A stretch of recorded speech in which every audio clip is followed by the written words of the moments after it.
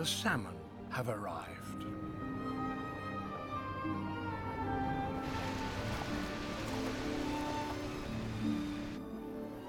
This is the world's largest freshwater fish migration.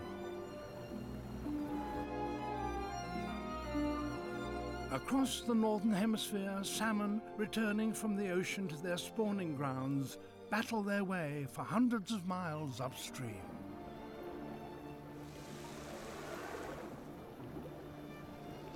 Up here, there are fewer predators to eat their eggs and fry.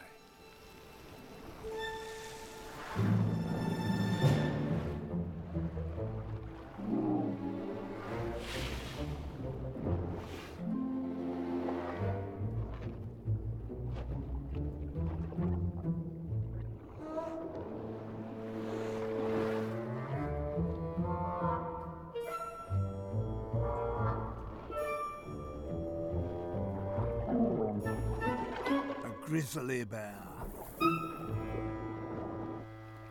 From famine to feast, he's spoilt for choice.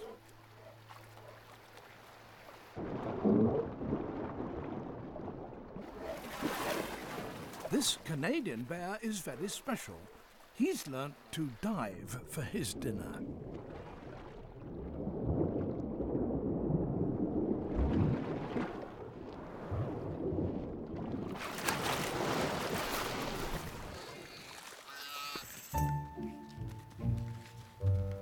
But catching salmon in deep water is not that easy, and the cubs have lots to learn.